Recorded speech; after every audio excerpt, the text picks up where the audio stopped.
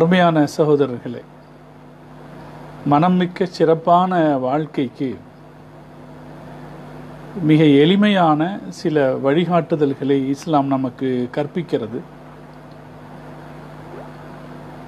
அந்த வழிமுறைகளை நாம் கடைபிடித்து வாழ்கிற போது நிச்சயமாக நம்மை பற்றி நாம் யோசிக்கிற போது பெருமிதம் அடைய முடியும். நான் இப்படி வாழ்ந்திருக்கிறேன் என்ற ஒரு பெருமிதத்தை நாம் அடைய முடியும். எந்த ஒரு மனிதனுக்கும் காலம் கடந்து செல்ல கடந்து செல்ல நான் எப்படி வாழ்ந்திருக்கிறேன் என்கிற ஒரு யோசனை வருவது ஒரு மதிப்பீடு சுய மதிப்பீடு ஏற்படுவது தவிர்க்க முடியாதது. காலம் கடக்க கடக்க அந்த மதிப்பீடுகள் வந்து கொண்டு தான் இருக்கும். அப்படி வருகிற போது ஒரு மகிழ்ச்சிக்குரிய வாழ்க்கையாக நம்முடைய வாழ்க்கை இருக்க வேண்டும். இந்த உலகத்திலேயே அப்படி ஒரு மகிழ்ச்சிக்குரிய வாழ்க்கையாக அமைந்து விடுவானால் அல்லாவுடைய கிருபையாலே நிச்சயம் நாளை மறுமையிலும் நம்முடைய வாழ்க்கை மகிழ்ச்சிக்குரிய ஒரு வாழ்க்கையாகத்தான் இருக்கும். அதனாலே நம்முடைய அன்றாட வாழ்க்கையில் நாம் கவனிக்க வேண்டிய சில இயல்புகளை நான் பட்டியலிடுகிறேன். நான்கு முக்கிய குணங்களை நம்முடைய அன்றாட வாழ்க்கையிலே நடைமுறைகளே நாம் பயன்படுத்தி கொள்ள அறிஞர்கள் நமக்கு கூறுவார்கள். அந்த நான்கு நடைமுறைகள் நம்மிடம் இருக்குமானால் நாம் வெற்றி பெற்று விடுவோம் என்று அவர்கள் உறுதியாக தெரிவிப்பதுண்டு. இந்த நான்கில் இன்று முடிந்த வரைக்கும் ஒரு இரண்டு விஷயங்களையாவது உங்களுடைய கவனத்திற்கு நான் கொண்டு வந்து விட விரும்புகிறேன். அல்லாஹ் தோஃபிக் செய்தல் புரிவானாக. அருமையான சகோதரர்களே சில விஷயங்களை கேள்விப்படுகிற போது அது நமக்கு கொஞ்சம் சிரமமானதாக பாரதூரமானதாக தெரியலாம். அப்படி தோன்றுகிற போது அல்லாஹ் நமக்கு தௌஃபிக் செய்யட்டும் என்று நினைத்து விடுவோமானால் அல்லாஹ் நமக்கு தௌஃபிக் செய்து விடுவான். அந்த செய்திகளை ஆரம்பத்திலேயே இதெல்லாம் நமக்கு சரிப்படாது என்கிற எண்ணத்தோடு நாம் உதறிவிடுவோமானால் அது நமக்கு என்றும் கைகூடாமல் போய்விடும். அல்லாஹ் நம்மை அந்த ஒரு மனோநிலையிலிருந்து பாதுகாத்தல் புரிவானாக.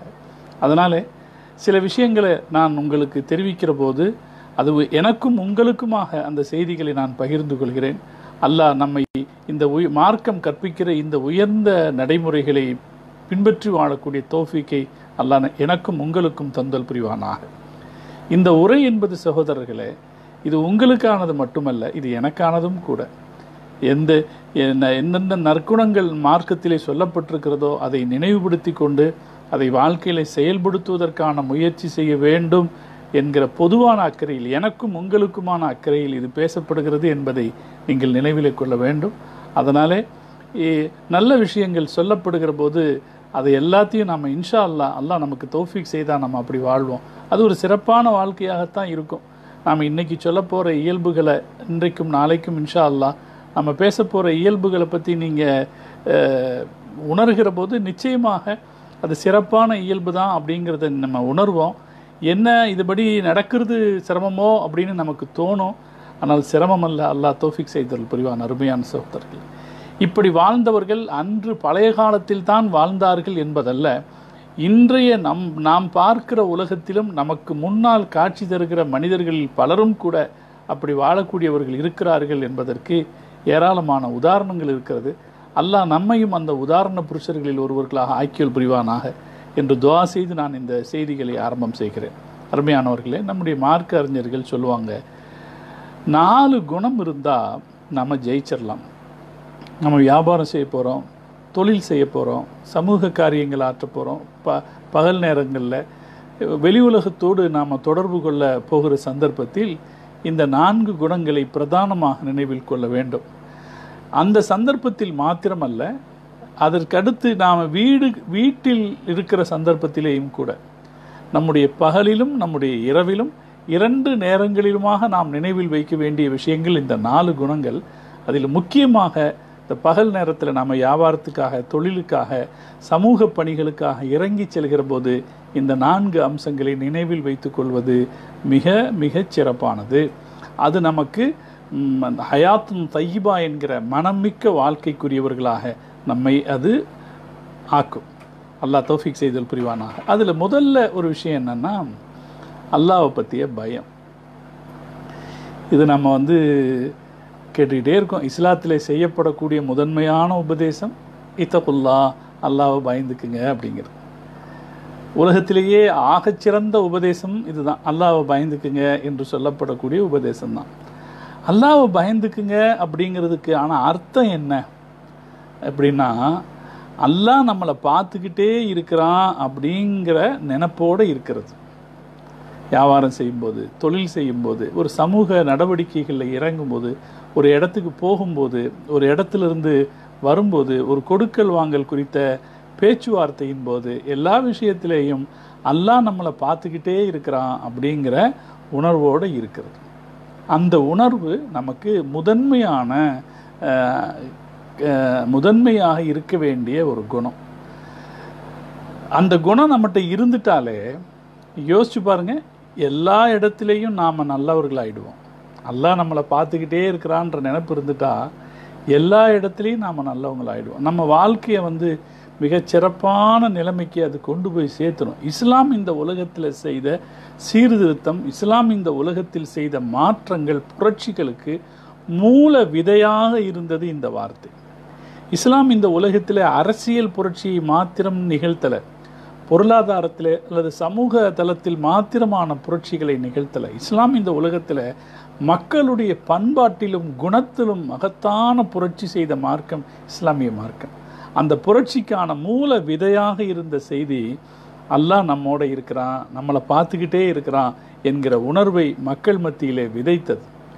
அருமையான சகோதரர்களே நீங்கள் எல்லாம் கேள்விப்பட்டிருப்பீங்க உமர் அலி அல்லாஹுத்தலான் அவங்க அவங்களுடைய அவங்களுடைய காலத்தில் உமர் அலி அல்லாஹுத்தலான் அவர்கள் இரவு நேரத்தில் மக்களை பார்ப்பதற்காக நகர்வலம் செல்வார்கள். மக்களுடைய நிலைமை எப்படி இருக்குதுன்னு பார்க்குறதுக்காக நகர்வலம் செல்வாங்க. ஒரு தடவை அது மாதிரி அவங்க போகிற போது ஒரு ஒரு வீட்டில் ரெண்டு பேர் பேசிக்கிட்டாங்க ஒரு அம்மாவும் மகளும் பேசிக்கிட்டாங்க. அவங்க பால் வியாபாரம் செய்கிறவங்க அவங்க அம்மா சொன்னாங்க பாலில் தண்ணியை கலக்குன்னு சொன்னாங்க. இப்போ மகள் சொன்னால் இல்லைம்மா பாலில் தண்ணியை கிடக்கக்கூடாது இது உமருடைய ஆட்சி நடக்கிற இடமல்லவா காலமல்லவா? என்று கேட்டார்கள். அப்போ அந்த அம்மா சொன்னாங்க உமர் என்ன இப்போ பார்த்துக்கிட்டேவா இருக்கிறார்? என்று கேட்டார்கள். அப்போது அந்த மகள் சொன்னார் உமர் பார்க்காவிட்டாலும் உமரை படைத்த இறைவன் பார்த்து கொண்டல்லவா இருக்கிறார்? என்று அந்த பெண்மணி சொன்னார். இதை வெளியிலிருந்து உமர் அலி அல்லாஹுத்தலான் அவர்கள் கேட்டுக்கொண்டிருந்தாங்க. அந்த என்று என்ற செய்தி நம்ம எல்லோருக்கும் தெரியும். நாம் இது ஏற்கனவே கேள்விப்பட்டிருக்கிற ஒரு செய்தி தான் அந்த செய்திக்கு அடுத்து அதனுடைய தொடராக அறிஞர்கள் இன்னொரு செய்தியை குறிப்பிடுவாங்க. உமர் அலி அல்லாஹு அவர்கள் அந்த பெண்ணை தன்னுடைய மருமகளாக ஆக்கி கொண்டார்களாம் ஆக்கி கொண்ட பிறகு தினசரி அவங்க வீட்டிலிருந்து வெளியேறுகிற போது அந்த பெண்ணை வாசலில் நிற்க சொன்னார்களாம் நின்று கொண்டு இந்த வார்த்தையை நீ சொல்லுமா? தினசரி நான் வெளியே போகும்போது உமருடைய இறைவன் பார்த்து கொண்டே இருக்கிறான் என்ற வார்த்தையை சொல் என்று உமர் அலி அல்லாஹுத்தலான் அவர்கள் தன் மருமகளுக்கு சொன்னார்கள் என்கிற ஒரு செய்தியும் வரலாற்றிலே இருக்கிறது. இப்போ அல்லாஹ் பார்த்து கொண்டே இருக்கிறான் என்கிற அந்த சிந்தனை ஒரு சின்ன ஒரு இளம் பெண்ணுக்கு ஹலீஃபாவுடைய மருமகளாக அந்தஸ்து கொடுத்தது. அது மாத்திரமல்ல. ஹலீஃபாவுக்கே அல்லாவை நினைவூட்டி கொண்டிருக்கக்கூடிய ஒரு வாய்ப்பையும் கொடுத்தது. அதுக்கு அதில் இருக்கிற முக்கியத்துவம் என்ன என்பதை நாம் புரிந்து கொள்ளலாம். இது அல்லாஹ் நம்மோட இருக்கிறான் அப்படிங்கிற அந்த சிந்தனை வரும்போது வாழ்க்கையில் மிக உச்சத்துக்கு போகுங்கிறதுக்கு உமர் அலி இல்லாஹுத்தலான் அவர்கள் ஒரு உதாரணம். அதே போல் உமர் அலி இல்லாஹுத்தலானுடைய மகன் அப்துல்லாஹிபின் உமர் அலி இல்லாஹுத்தானு அவங்கள பற்றி ஒரு ஒரு செய்தி இருக்குது அவங்க ஒரு மலை முகட்டில் ஒரு மலை மேலே ஏறிக்கிட்டு இருந்தாங்க. அந்த மலை முகட்டில் ஒரு சிறுவன் ஆடுகளை மேய்த்து கொண்டிருந்தார். அப்படி மேய்த்து கொண்டிருந்த அந்த சிறுவர் இடத்துல ஒரு ஆடு எனக்கு வேணுமே அப்படின்னு கேட்டாங்க. அவர் சொன்னார் இந்த ஆட்டுக்கு நான் சொந்தக்காரன் அல்ல. இந்த ஆட்டுக்கு சொந்தக்காரர் வேறு இடத்துல இருக்கிறாருன்னு அந்த இள அந்த சிறுவர் சொந்த இடையர் சொன்னார். அப்போது அவங்க சொன்னாங்க தேவையாக இருக்குது ஒரு ஆட்டை நீ வித்துரு. நான் வந்து உன்னுடைய எஜமானர்களுக்கெல்லாம் தெரிவிக்காது. எனக்கு எப்படின்னா ஆடு ஏதாவது காணா போயிடுச்சுன்னு சொல்ல என்று அந்த இளைஞன் அந்த சிறுவரை சோதிப்பதற்காக ஒரு வார்த்தையை அப்துல்லாஹிபின் உமர் அலி அல்லாஹுத்தான் அவங்க சொன்னாங்க. அப்போ அந்த இளைஞன் சொன்னான் ஐன் அல்லா? அல்லாஹ் எங்கே இருக்கிறான்? என்னுடைய முதலாளி இங்கே இல்லை. ஆனால் இப்போ ஐன் அல்லா? அல்லாஹ் எங்கே இருக்கிறார் என்று கேட்டார்.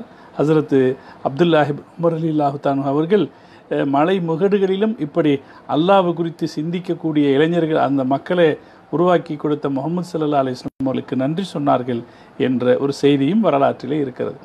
அல்லாஹ் நம்மோடு இருக்கிறான் அப்படிங்கிற சிந்தனை நமக்குள்ளே இருக்கும் பட்சத்தில் நம்ம வாழ்க்கை எல்லா இடத்துலையும் நேராகும் யோசிச்சு பாருங்கள் ஒரு வியாபாரம் செய்கிறோம் வியாபாரம் செய்யும்போது இதை அல்லாஹ் பார்த்துக்கிட்டே இருக்கிறான் அப்படின்னா அந்த வியாபாரத்தில் நம்மளோட நடைமுறை எப்படி இருக்கும்? அதே போல் ஒரு தொழில் ஒருத்தர் செய்கிறார் தொழில் செய்கிறதுல கூட பல வகையில் இருக்கு இல்லையா? சரியாக செய்கிறது அறகுறையாக செய்கிறது அப்படின்னு பல வகை இருக்கு இல்லையா? அப்படி தொழில் செய்யக்கூடிய ஒருத்தர் அல்லாஹ் என்னை பார்த்துக்கிட்டே இருக்கிறான் அப்படின்ற எண்ணத்தில் தொழில் செய்வாருன்னா அவருடைய தொழில் எப்படி அது எவ்வளோ சுத்தமாக இருக்கும் பாருங்கள் ஒன்றிரண்டு தொழில் என்று மாத்திரமல்ல. அது அறிவை சொல்லி கொடு ஒருத்தர் ஆசிரியராக இருக்கிறாரு. பள்ளிக்கூடத்தில் ஆசிரியராக இருக்கிறாரு. அவர் கல்வி கற்பிக்கிற பணியை செய்கிறாரு அவர் செய்யக்கூடிய நேரத்தில் அல்லாஹ் என்னை பார்த்துக்கிட்டே இருக்கிறான் அப்படின்னு நினச்சா அவருடைய பணி எந்த அளவில் சிறப்பாக இருக்கும்? அதே போல் நாம் ஒவ்வொரு கட்டத்திலேயும் அல்லாஹ் என்னை பார்த்து கொண்டே இருக்கிறான் என்று சிந்தனையோடு செயல்படுகிற போது நம் வாழ்க்கை எவ்வளோ சிறப்பாக இருக்கும்? இந்த சிந்தனைக்கு இந்த நினப்புக்கு அல்லாஹ் எங்கூட இருக்கிறான் அப்படிங்கிற நினப்புக்கு என்னை பார்த்துக்கிட்டே இருக்கிறாங்கிற நினப்புக்கு ரெண்டு விளைவுகள் உண்டு என்று திருக்குறானுடைய அறிஞர்கள் சொல்கிறாங்க ஒன்று என்னன்னா நமக்கு வந்து நமக்கு ஏற்படக்கூடிய பயம் பயத்திலிருந்து நம்மை அது பாதுகாக்கும். திடீர்னு ஒரு அச்சத்தை ஏற்படுத்தக்கூடிய ஒரு ஒரு பயத்தை ஏற்படுத்தக்கூடிய ஒரு சூழ்நிலை திடீர்னு வரலாம். அப்படி ஏற்படக்கூடிய சந்தர்ப்பத்தில் அந்த திடீர் அச்சம் ஏற்படக்கூடிய சந்தர்ப்பத்தில் எல்லாம் நம்ம கூட இருக்கிறான் அப்படிங்கிறது பெரிய தைரியமாக இருக்கும். நீங்கள் நீங்கள் கேள்விப்பட்ட ரொம்ப பழ ரொம்ப அரி- அடிக்கடி கேள்விப்படக்கூடிய செய்தி தான் சவுர் குகையிலே முகமது ரசூலுல்லாஹி சல்லா அலிஸ்லாம் அவர்கள் தங்கி இருக்கிற போது ஒளிந்திருக்கிற போது அபூபக்கர் சித்திக் அலி அல்லாஹு அவங்களும் ஒளிந்திருந்தாங்க. அந்த நேரத்தில் எதிரிகள் அந்த இடத்துக்கும் வந்துடுறாங்க. அபூபக்கர் சித்திக் அலி அல்லாஹுத்தானு அவங்க பெருமானார்கிட்ட கேட்டாங்க யார் சூழல் அதோ வந்துட்டாங்களே. அவங்க குனிஞ்சு பார்த்துட்டா என்ன ஆகும்? என்று பயத்தோடு கேட்ட நேரத்தில் முகமது ரசூலுல்லாஹி ஸல்லல்லாஹு அலைஹி என்ன சொன்னாங்க? மா லன்னக்குயா அபாபக்கர் பி இசனை நீ வல்லாஹு சாலிசுகுமா அபுபக்கரே என்ன நினைக்கிறீங்க? நாம் ரெண்டு பேர் மட்டுமா இருக்கிறோம்? நம்மோட அல்லாவும் இருக்கிறாங்க. அல்லாவும் மூன்றாவதாக அல்லாவும் இருக்கிறான் என்று முகமது ரசூல்லாஹி ஸல்லல்லாஹு அலைஹி சொன்ன அந்த வார்த்தை இருக்கே அந்த வார்த்தை எப்போ வரும் மனுஷனுடைய ஒரு நாக்கிலிருந்து அந்த அந்த நெருக்கடியான நேரத்திலையும் கூட. ஏன்னா குனிஞ்சு பார்த்துட்டா அடுத்த நிமிஷம் உயிர் இருக்காது தான் அந்த நெருக்கடியான நேரத்திலையும் கூட அவ்வளவு தைரியமாக ரசூல் சல்லா அலிஸ்லம் அவங்க இந்த வார்த்தையை சொன்னாங்கன்னா எப்படி அது சாத்தியமாச்சு? எப்போவும் அல்லாஹ் நம்மளை பார்த்துக்கிட்டே இருக்கிறான் நம்ம கூடயே இருக்கிறான் அப்படிங்கிற நினப்பு இருக்க போய் தான் அது சாத்தியமாச்சு. அதே போல் இந்த பயத்தை போக்கும் இன்னொரு செய்தியும் உண்டு. இதே போல் ஒரு வார்த்தையை ஹசரத் மூசா அலி இஸ்லாம் அவங்களும் சொன்னாங்க. எப்படின்னா யூதர்களை ஃபிரௌனிடத்தில் இருந்து காப்பாற்றி அவங்க அழைச்சிட்டு வரும்போது அவங்க ஒரு தரை வழியாக தப்பிச்சு போகலான்னு நினச்சிருந்தாங்க. ஆனால் எதிர்பாராத விதமாக அவங்க வந்து நின்னது செங்கடலோரத்தில் செங்கடல் ஓரத்தில் வந்து நின்றார்கள். கடல் இந்த பக்கம் இருந்தது பின்னாடி கடல் மாதிரி ஃபிரௌனுடைய படைகள் துரத்தி கொண்டு வந்தாங்க. எல்லாரும் பதறினாங்க. நாங்கள் நாம் மாட்டிக்கிட்டோம் என்று அவர்கள் பதறினார்கள். அல்லாஹ் திருக்குறானிலே சொல்லி காட்டுகிறான். அவங்க பதறினாங்க. நாம் மாட்டிக்கிட்டோம். இன்னால முதரக்கும். நாம் மாட்டிக்கிட்டோம் என்று பதறினார்கள். அப்போது ஹசரத்து மூசா அலி இஸ்லாம் அவர்கள் சொன்னார்கள் இல்லை ஒருபோதும் அப்படி நடக்காது. அல்லாஹ் நம்மை பாதி இன்ன ரப்பி சையஹதீனி என் இறைவன் எனக்கு வழிகாட்டுவான் என்று சொன்னார்கள். என் என் இறைவன் என்னோடு இருக்கிறான் இன்ன என் இறைவன் என்னோடு இருக்கிறான் செய்யஹதீனி எனக்கு அவன் வழிகாட்டுவான் என்று சொன்னார்கள். இப்போ எல்லாருக்கும் ஏற்பட்ட பதட்டம் மூசா அலி இஸ்லாத்துக்கு ஏற்படலை. இயல்பாக தலைவர்களுக்கு பதட்டம் அதிகமாக ஏற்படும். ஏன்னா அவங்களுக்கு அவங்கள பற்றி கவலையும் இருக்கும் அவங்க பின்னாடி வந்திருக்கிற மக்களை பற்றி கவலையும் இருக்கும். இந்த இடத்துல மூசா அலி இஸ்லாத்துக்கு பதட்டம் வரல. காரணம் என்ன? அல்லாஹ் நம்மோட இருக்கிறான். நம்முடைய நிலைமைகளை பார்த்துட்டு இருக்கான் அப்படின்னாங்க. அது அவர்களுடைய அச்சத்தை போக்கியது என்பது மாத்திரமல்ல. அதுக்கு அடுத்து மூசா அலி இஸ்லாம் சொன்ன வார்த்தையும் கவனிக்கணும். செய்ய தீனி அவன் எனக்கு வழிகாட்டுவான். எனவே மார்க்க அறிஞர்கள் சொல்லுவாங்க அல்லாஹ் நம்மோட இருக்கிறான்ங்கிற சிந்தனையோடு நாம் இருக்கும்போது திடீரென்று ஏற்படக்கூடிய அச்சம் தரக்கூடிய சூழ்நிலைகளில் அந்த நமக்கு ஒரு தைரியத்தை கொடுக்கும். நம்முடைய அச்சத்தை அது போக்கும். ரெண்டாவதா என்ன செய்யணும் அப்படின்னு வழிகாட்டுதலே அது தரும். சாதாரணமாக ரொம்ப திடகாத்திரமான ரொம்ப அறிவார்த்தமான ஆளுங்க கூட நெருக்கடி நேரத்தில் என்ன செய்யறது அப்படின்னு தடுமாறிடுவாங்க. அல்லாஹ் நம்மோட இருக்கிறான் என்று நாம் அந்த சிந்தனையோட வாழ்ந்தோம்னா அந்த நெருக்கடி நேரத்திலையும் எப்படி செயல்பட வேண்டும் என்று அல்லாஹ் வழிகாட்டுவான். எனவே அல்லாஹ் நம்மோடு இருக்கிறான் என்கிற சிந்தனைக்கு ரெண்டு நன்மை இருக்குது. ஒன்று நெருக்கடியான நேரத்தில் ஏற்படக்கூடிய அச்சத்தில் இருந்து அது நம்மை பாதுகாக்கும். ரெண்டாவது எப்படி செயல்பட வேண்டும் என்கிற வழியை அது காட்டும் என்கிற ரெண்டு பிரயோஜனத்தை அறிஞர்கள் சொல்வார்கள். ரெண்டாவது அது எல்லாவற்றுக்கும் மேலாக நமக்கெல்லாம் நாம் எல்லாம் உணர்ந்து கொள்ளக்கூடிய ஒரு சாத்தியமான உண்மை என்னென்னா அந்த நினப்போடு நாம் இருந்தோம்னா நிச்சயமாக நாம் நல்லவங்களாக இருக்கும் பெரும்பாலும் நாம் நல்லவங்களாக இருப்போம் என்பது யதார்த்தத்தில் நாம் உணர்ந்து கொள்ள வேண்டிய விஷயம். இதை விலக்கி சொல்கிறதா இருந்தால் நிறைய இருக்கிறது. நம்முடைய மார்க்கறிஞர்கள் இந்த இந்த தலைப்பில் ஏராளம் ஏராளமான செய்திகளை பேசியிருக்கிறார்கள். ஆனால் எவ்வளவு செய்திகள் என்பதல்ல முக்கியம். இந்த தத்துவம் மிக முக்கியமானது. இதை நாம் உணர்ந்து கொண்டால் நம் வாழ்க்கை மனமிக்க வாழ்க்கையாக இருக்கும். முதல்ல உணர்ந்து கொள்ள வேண்டியது அல்லாஹ் நம்மோட இருக்கிறான் அப்படிங்கிறத நம்முடைய வியாபாரம் தொழில் நம்முடைய மற்ற நடவடிக்கைகள் அன்றாட நடவடிக்கைகளில் ஒவ்வொரு இடத்துலையும் நம்ம ஞாபகத்தில் வச்சுருப்போம். அல்லாஹ் தோஃபிக் செய்வானாக. ரெண்டாவது விஷயம் அறிஞர்கள் நமக்கு சொல்லித்தரக்கூடிய ரெண்டாவது முக்கியமான வாழ்க்கையினுடைய ஒரு பண்பாடு நடுநிலையாக நடந்துக்கிறது. எல்லா விஷயத்திலையும் நடுநிலையாக நடந்துக்கிறது.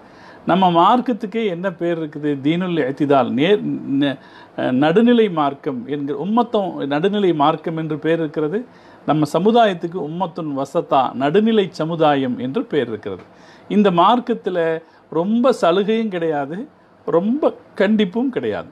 யூதர்களுக்கு இருந்தது போல கடுமையான நடைமுறைகளும் இந்த மார்க்கத்தில் இல்லை. கிறிஸ்துவர்களுக்கு இருந்தது போல ரொம்ப சலுகையான ஏற்பாடுகளும் இந்த மார்க்கத்தில் இல்லை. இந்த மார்க்கத்தில் ரெண்டுக்கும் இடைப்பட்ட ஒரு நடுத்தரமான ஒரு மார்க்கம் என்பதை நம்ம மார்க்கத்தை பற்றிய சிறப்பாக சொல்லுவோம். நம்ம வாழ்க்கையிலையும் எல்லா விஷயத்திலையும் நாம் வந்து நடுநிலையாக நடக்கிறதுக்கு நடந்தோம்னா நம்ம வாழ்க்கை வந்து மதிப்புக்குள்ள வாழ்க்கையாக மனம் மிக்க வாழ்க்கையாக இருக்கும் ஏதாவது ஒரு இடத்து ஒரு ஒரு வகையில் கொஞ்சம் தீவிரமாக இருந்தோம் தீவிரமாக இருந்தோம் என்றால் அது நம்முடைய வாழ்க்கையினுடைய சிறப்பை குறைத்துவிடும். எல்லா விஷயத்துலேயும் நாம் நடுநிலையாக இருக்கணும். இப்போ ஒருத்தரை நேசிக்கிறது கோபிக்கிறது. நேசத்திலும் கோபத்திலும் கூட நீங்கள் ரசூல் சல்லா இஸ்லாம் அவங்க நமக்கு இதுக்கு வழிகாட்டி இருக்கிறாங்க. பார்த்து அளவாக நேசிங்க. ஏன்னா நீங்கள் நேசிக்கிற ஒரு காலத்தில் உங்களுடைய உங்களுடைய எதிரியாக மாறிடலாம். அதே போல் ஒருத்தர் கோபிக்கிறது கூட கூட கோபிக்கும்போது கூட அளவாக கோபிங்க. நீங்கள் அவர் உங்களுக்கு நண்பராக மாறக்கூடும். இப்போ பின்னால் வருத்தப்படுவோம். ஏன்டா இவ்வளோ அவரை நம்ம அந்த அளவில் நாம் நேசித்தோம் அல்லது ஏன் இவ்வளவு நாம் அவரை கோபிச்சோம் அப்படின்னு நாம் வருத்தப்படக்கூடிய ஒரு சூழ்நிலை வரும். அதனாலே நேசத்திலும் விருப்பிலும் வெறுப்பிலும் கூட நடுநிலையாக இருக்கணும் எல்லா விஷயத்திலையும். எல்லா விஷயத்திலையும் நாம் நடுநிலையாக இருக்கணும். மார்க்கத்தை கடைபிடிக்கிற விஷயத்திலையும் நாம் நடுநிலையாக இருக்கணும். மார்க்கத்தை கடை மார்க்கம் நமக்கு சொல்லுது இது தீனு இது வந்து எப்படிப்பட்ட மார்க்கம்? நடுநிலையான மார்க்கம். இந்த மார்க்கத்தில் நான் அல்லாவை வணங்குறேன் அப்படின்னு சொல்லிட்டு இந்த உலக வாழ்க்கையை திறந்து போயிடக்கூடாது. அதே போல் உலக வாழ்க்கை தான் முக்கியம்னு சொல்லிட்டு அல்லாவை விட்டுட்டும் போயிடக்கூடாது. ரெண்டுக்கும் இடையே இருக்கிற ஒரு வாழ்க்கை தான் நம்முடைய மார்க்கம் சொல்லக்கூடிய வாழ்க்கை. அபுத்தர்தா தர்தா அலி அல்லாஹு சஹாபி அவர் வந்து ரொம்ப இபாதத்தில் ஈடுபடக்கூடியவராக இருந்தார். புக் சஹீஹுல் புகாரியில் இந்த ஹதீஸ் வருது. அண்ணா அபுத் அண்ணா அபுத்தர்தா அலி அல்லாஹு கசீருல் இபாதா அவர் அதிகமாக இபாதத் செய்யக்கூடியவராக இருந்தார். தொழுகை அதிகமாக தொழுவார். அதே போல் பகல் நேரத்தில் ரோம்பு வச்சுக்கிட்டே இருப்பார். ராத்திரி நேரத்துலையும் நின்று தொழுதுகிட்டே இருப்பார். ஒரு நாள் அவர் வீட்டுக்கு வர்றாரு சல்மானுல் ஃபார்சி அலி அல்லாஹுத்தலான் அப்படி வரும்போது அவர் அங்கே பார்க்குறாரு அவருடைய மனைவி தன்னை அலங்கரித்து கொள்ளாமல் ஒரு அலங்கரித்து கொள்ளாத ஒரு தோற்றத்தில் ஒரு கொஞ்சம் பங்கரையான ஒரு தோற்றத்தோட இருக்கிறாங்க. அப்போ அவர் கேட்குறாரு நீ ஏன் இப்படி இருக்கிற?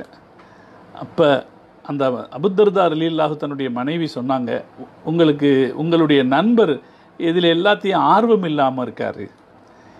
வாழ்க்கை விஷயத்தில் அவர் இல்லற வாழ்க்கை விஷயத்தில் ஆர்வம் இல்லாமல் இருக்கிறாரு அதனால தான் அப்படின்னாங்க. அதை கேட்ட உடனே இந்த சஹாபி அபுத்தர்தா சல்மானுல் ஃபார்சி அலி அல்லாஹு தலான்ஹு அபுத்தர்தா அலி அல்லாஹு தலான்ஹு அவரை பார்த்து அவருக்கு ஒரு அறிவுரை சொன்னாங்க.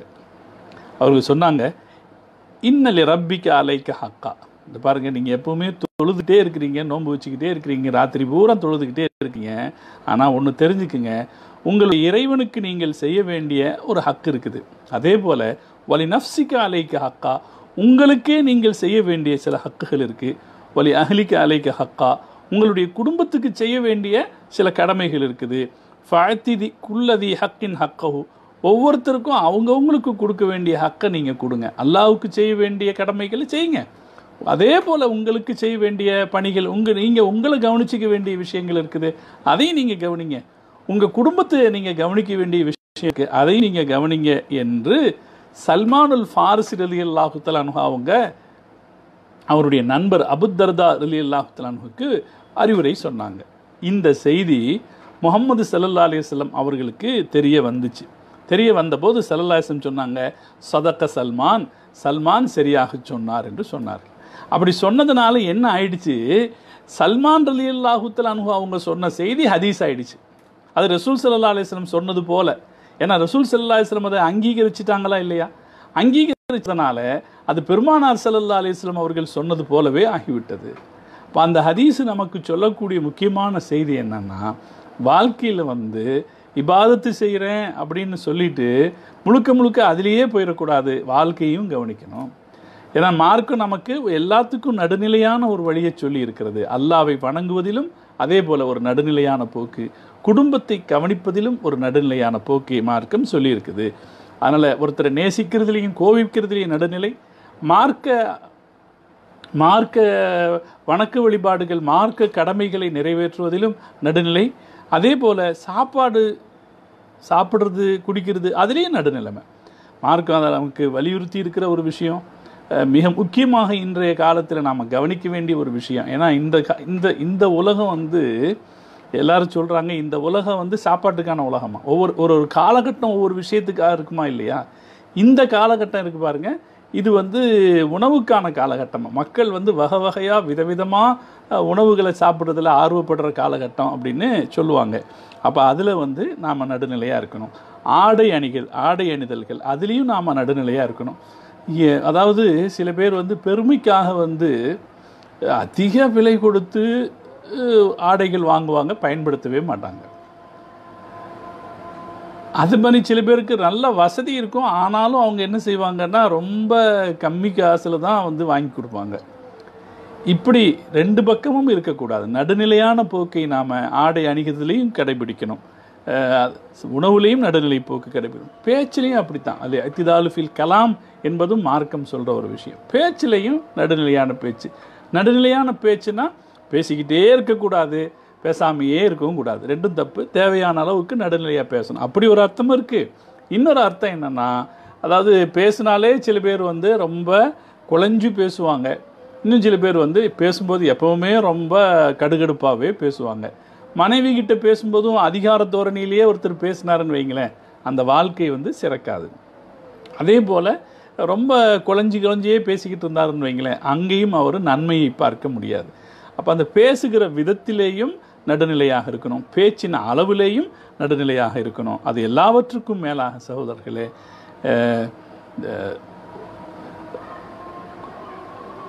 பொருளாதாரத்தில். காசு பணத்தை செலவிடுகிற விஷயத்தில் நடுநிலை மிக அவசியம். அல்லாஹ் குரானில் இதை வலியுறுத்தி இருக்கிறான் முஸ்லீம்கள் எப்படி இருப்பாங்க அப்படின்னா வல்லதீன இதா அன்ஃபகு அவர்கள் செலவு செய்தால் லம் யூஸ்ரிஃபு அவர்கள் அதிகப்படியாக விரயமும் செய்துவிட மாட்டார்கள். வலம் யக்துரு அவர்கள் சுருக்கி கொள்ளவும் மாட்டார்கள். வக்கான பைனதாலிக்க கவாமா அவர்களுடைய செலவு நடுநிலையானதாக இருக்கும் என்று அல்லாஹ் சொல்கிறார் இது கவனிக்க வேண்டிய விஷயம். வாழ்க்கையில் எல்லா விஷயத்திலையும் நடுநிலை அவசியம். நான் வந்து மிக முக்கியமாக இதை சொல்கிறேங்கிறத நீங்கள் கவனிக்கணும். அல்லாவை நம்ம மனசில் வச்சிருக்கணும் அப்படிங்கிறதுக்கு அடுத்தபடியாக இந்த செய்தியை சொல்கிறேன் நடுநிலை. ஏன்னா நம்மளை ரெண்டு இந்த உலகத்திலையும் சரி நாளை மறுமையிலையும் சரி நமக்கு மரியாதையான ஒரு இடத்தை பெற்றுத்தருவதற்கு இந்த நடுநிலை போங்கு அவசியமானது. எல்லா விஷயத்திலும் நடுநிலை. தீன் விஷயத்தில் நடுநிலை அதே போல் நேசிக்கிறதில் விரும்பு விருப்பு வெறுப்பை காட்டுதில் நடுநிலை. அதே போல் சாப்பாடுகளில் நடுநிலை அதே போல் பேச்சில் நடுநிலைமை அது செலவுலையும் நடுநிலைமை. அளவு கடந்து செலவு பண்ணிட்டா சிக்கலுக்கு மா சிக்கலுக்குள்ளாயிடுவோம். அதே போல் ரொம்ப நாம் இழுத்து பிடிச்சி செலவு செய்தால் அப்போவும் நாம் இந்த உலகத்தில் இருக்கிற அந்த இன்பங்கள் சுகங்களை நாம் அனுபவிக்க முடியாமல் போயிடும். அப்புறம் அதில் பிரயோஜனம் என்ன இருக்குது செலவு செய்கிறதே என்னத்துக்கு அப்படின்னா இந்த உலகத்தில் இருக்கிற சில ஹலாலான சுகங்களை அனுபவித்துக் கொள்வதற்காகத்தான் செலவு. அதனால் உணவு வீட்டில் உணவு சமைக்கிறதுலேருந்து அது மாதிரி மற்ற மற்ற ஒவ்வொரு காரியங்களுக்காக வீட்டுக்கான பொருள்களை வாங்குறதுலேருந்து ஒவ்வொரு காரியத்திலேயும் நிதானமான நடுத்தரமான செலவு நம்மிடத்தில் இருக்குமானால் நாம் ஜெயிச்சிடலாம் இந்த உலகத்திலேயும் ஜெயிச்சிடலாம் நாளை மறுமையிலையும் ஜெயிச்சிடலாம் நபிகள் நாயகம் ஸல்லல்லாஹு அலிஸ்லம் அவங்க சொன்னதான ஒரு செய்தி அபுதாவுதிலும் இருக்கிறது திருமதியிலும் இருக்கிறது. இப்போ லிப்தி சாது ஜுஸ் உம் மின் ஹம்சத்தும் ஐஸ்வரீன ஜுஸ் அம் மின் நுபுவா. நடுநிலை என்பது நபித்துவத்தின் இருபத்தி ஐந்து குணங்களில் ஒன்று.